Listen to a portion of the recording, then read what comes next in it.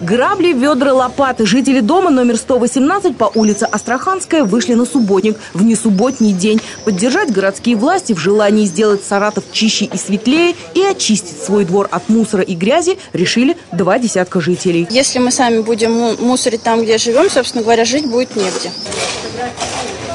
Одни собирают мусор с помощью веников и граблей, другие отмывают фасады и столбы от рекламных объявлений, третьи высаживают молодые деревца.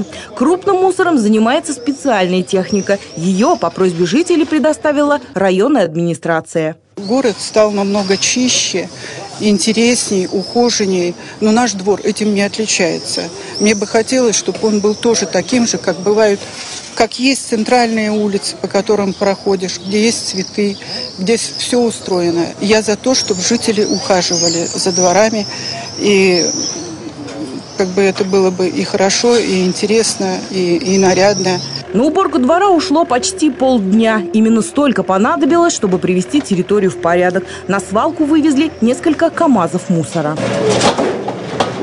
Таких активистов, как в доме по улице Астраханской в Саратове, немного. В большинстве дворов картина печальная. Заполненные баки, разбросанный мусор. Но у саратовцев еще есть время все изменить. Жить в чистом дворе, зеленом городе или нет – личный выбор каждого гражданина.